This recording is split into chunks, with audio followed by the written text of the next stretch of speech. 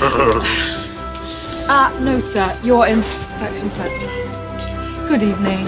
Oh.